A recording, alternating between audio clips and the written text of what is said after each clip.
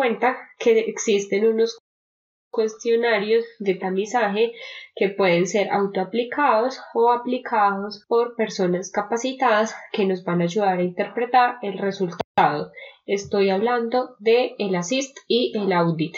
El assist se usa para mirar el consumo de todas las sustancias psicoactivas, alcohol, cigarrillo y otras sustancias psicoactivas y el audit para mirar el consumo con relación al alcohol específicamente. Entonces, estos cuestionarios son de fácil administración, como les decía ahora pueden ser autoaplicados y además nos arrojan el nivel de riesgo y de acuerdo al nivel de riesgo, qué es lo que debemos hacer para poder tener esa atención inmediata o poder empezar a implementar acciones que nos ayuden a cambiar o a darle manejo a esta situación. Ya en un momento se los voy a presentar y a contar de qué se trata. Tercero, debemos recordar que se puede acceder a la valoración integral desde el sector salud. Como le veíamos ahora, se tienen como unas disposiciones y una ley en donde se incluye el plan de atención integral. Entonces, ¿cómo es esa ruta? Pueden ir a medicina general, comentarte cuál es el problema, médico general, y el médico hará la remisión a psicología o a psiquiatría o en muchos casos a ambos profesionales o áreas para que puedan obtener entonces esa valoración integral en la terapia o esa valoración con psiquiatría se pretende evaluar si es necesario que inicie con medicamentos y en la terapia psicológica ahora vamos a ver que tiene diferentes énfasis y que además de ser individual también puede haber grupal, familiar o de pareja. En el cuestionario de ASIST tenemos un total de ocho preguntas ¿Qué es lo que deben hacer? Bueno, vamos a partir de la primera pregunta. Nos dice a lo largo de su vida cuál de las siguientes sustancias psicoactivas ha consumido y nos plantean varias tabaco, bebidas alcohólicas, marihuana, cocaína, anfetaminas, inhalantes, tranquilizantes, alucinógenos, opiáceos, otros. Allí lo que debemos hacer es marcar con una X frente a cada una de estas sí o no o nos dice que si contestamos no en todas las preguntas, pues se termina el cuestionario. Pero si contestamos sí a alguno de esos ítems donde indica que sí se ha presentado consumo de alguna de esas sustancias a lo largo de la vida, entonces se continúa con la pregunta número 2. En la pregunta número 2 nos dice con qué frecuencia ha consumido las sustancias mencionadas en los últimos tres meses. Entonces vuelve a aparecer todas las opciones de tabaco, bebidas alcohólicas, anfetaminas, inhalantes, bueno, todas las que nos expone. Y a esas que se marcaron sí en los últimos tres meses, ustedes van allí a colocar con qué frecuencia la han consumido tenemos la opción de respuesta nunca, una o dos veces cada mes, cada semana o a diario, casi a diario. Es muy importante que contestemos estas preguntas con toda la sinceridad. Pasamos a la pregunta número 3 que nos dice en los últimos tres meses, también nos está hablando de los últimos tres meses, con qué frecuencia ha tenido deseos fuertes de consumir estas drogas. O sea, la segunda son como las veces como tal que se ha hecho, que ha consumido. Pero en esta tercera nos pregunta en los últimos tres meses qué tantas veces ha tenido deseos de hacerlo, porque puede que haya tenido deseos de hacerlos, pero no lo hizo. Entonces esa es la diferencia entre la pregunta 2 y 3.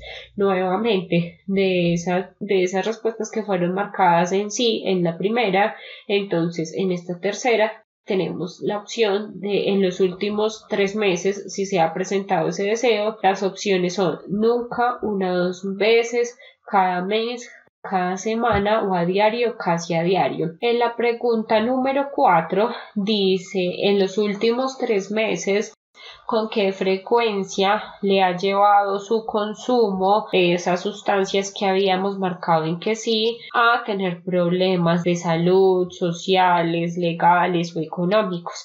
Entonces acá las opciones de respuesta también son nunca, una dos veces, cada mes, cada semana o a diario, casi a diario. Acá, como vemos en esta pregunta 4, lo que se pretende es evaluar cómo hasta qué punto se ha afectado nuestra funcionalidad normal debido a ese consumo. Entonces, por eso nos pregunta e incluye problemas tanto familiares, de salud, económicos y legales.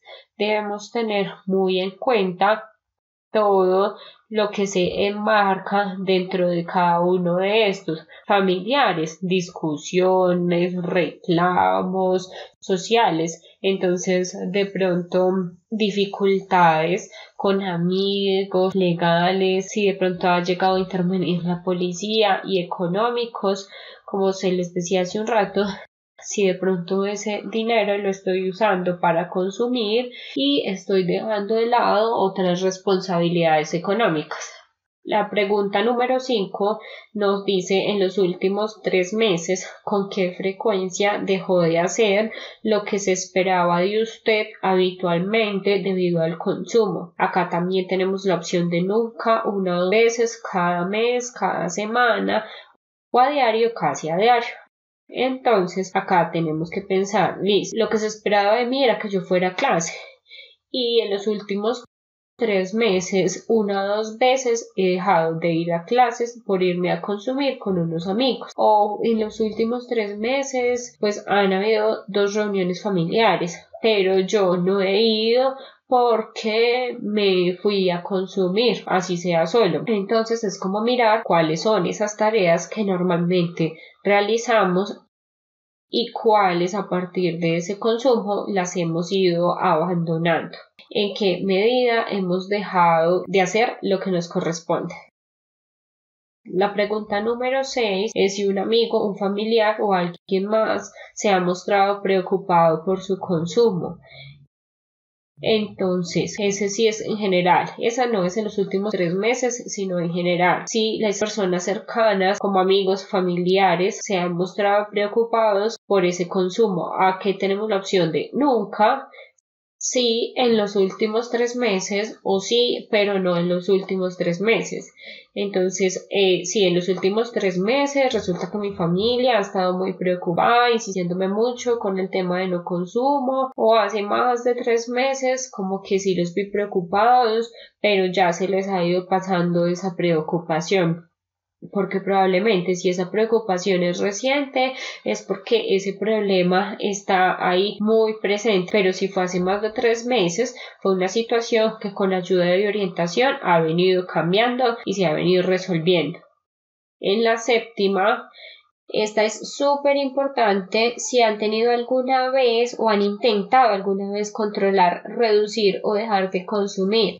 Esta que nos va a llevar a identificar que tantas veces hemos tenido recaídas, que tantas veces hemos intentado controlar, reducir o dejar de consumir y no lo hemos logrado. Recuerden que uno de los criterios que nos proponía el autor estaba la recaída. Entonces acá la opción es no, nunca lo he intentado, sí o sí en los últimos tres meses o sí, pero no en los últimos tres meses. Entonces acá vamos a mirar si ya hubo una recaída y un intento de abandonar ese consumo, pero finalmente no se logró.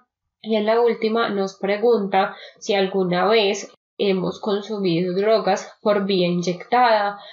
Ahí es así las opciones son no, nunca o sí en los últimos tres meses o sí, pero hace más de tres meses.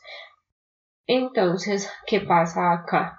Lo que vamos a hacer, eh, ya luego nos dice que vamos a empezar a sumar los puntajes, donde ustedes marcan la X o al encerrar en círculo, si, no, una vez al mes, dos veces. Entonces, eso representa un puntaje que les aparece allí.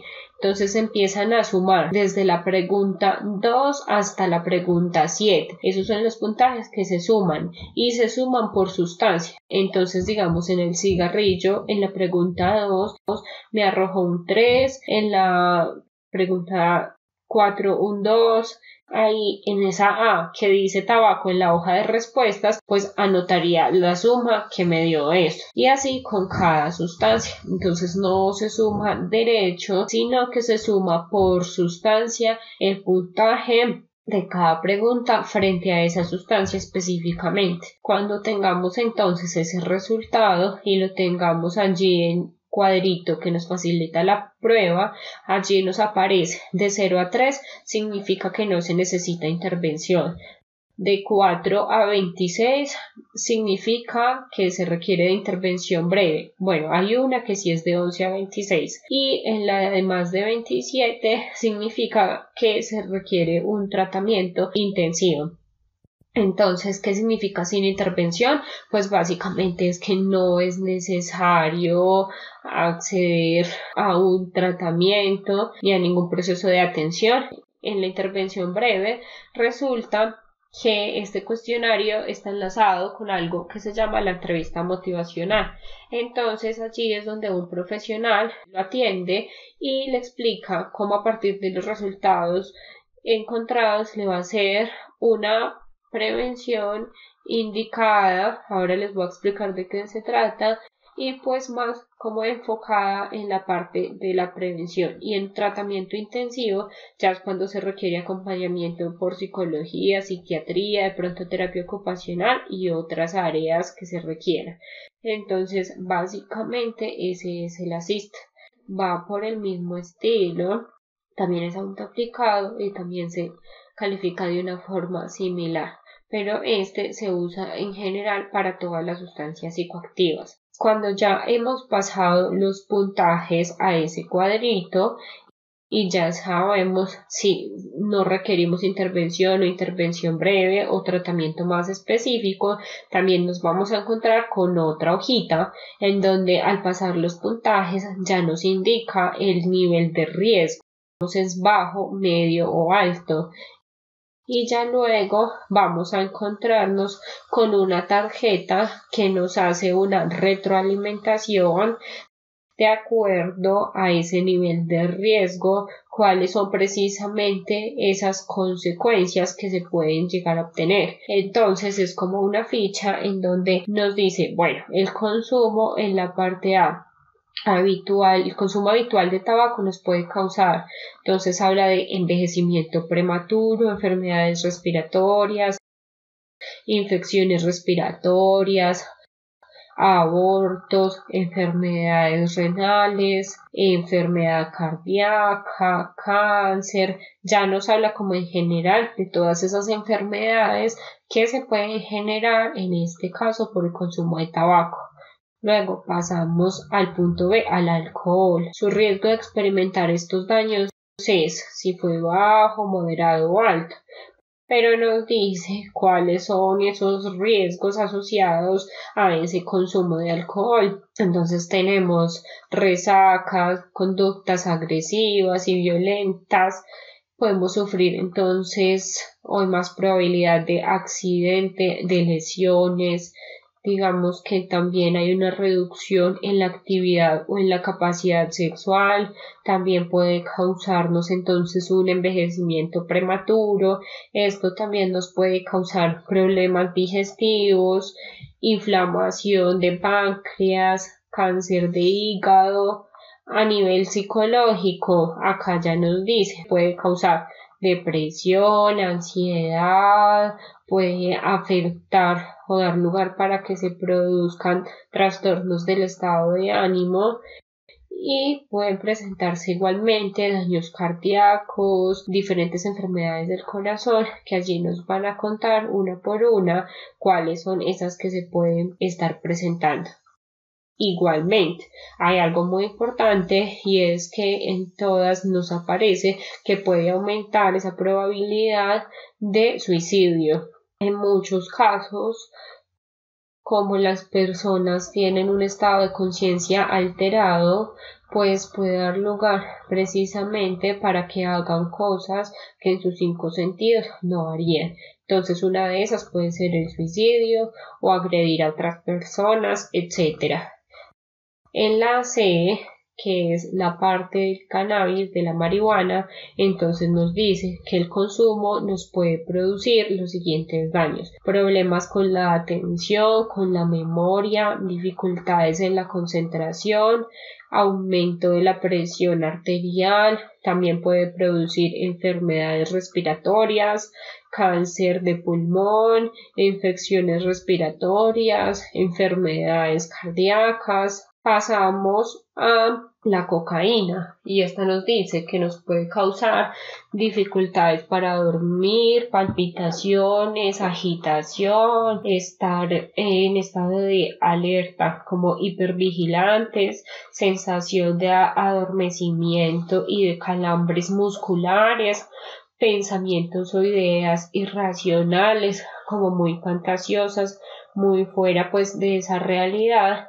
agresividad, cambios en la forma de relacionarnos o la forma como tratamos a los demás también nos puede llevar a que entremos a una fase de euforia y que después de pasado el efecto de la sustancia se podría llegar como a una fase de depresión. En los estimulantes de tipo anfetamínico que se puede producir dificultades para dormir, pérdida del apetito, tensión muscular, cambios también en el estado de ánimo, temblores, palpitaciones, conductas de agresión hacia sí mismo o hacia otros, puede causar un daño cerebral permanente, puede causar daño hepático y tenemos en el caso de los inhalantes que puede producir mareos, alucinaciones, síntomas como si fueran de una gripa accidentes y lesiones, indigestión, se altera la coordinación, también pueden haber reacciones como calambres musculares, delirios, convulsiones o muerte por fallo cardíaco. En los sedantes, ¿qué podemos presentar? Sudoración, mareos, dificultad para despertar, como somnolencia, dificultad para concentrarse, problemas de sueño, ansiedad, depresión, tolerancia y dependencia marcadas que se da en un periodo breve de tiempo en los alucinógenos. Entonces, alucinaciones que pueden ser placenteras o molestas, pueden producirse alucinaciones visuales, auditivas, dificultades para dormir, náuseas, vómitos, aumento en la frecuencia cardíaca, cambios de humor, ansiedad, ataques de pánico.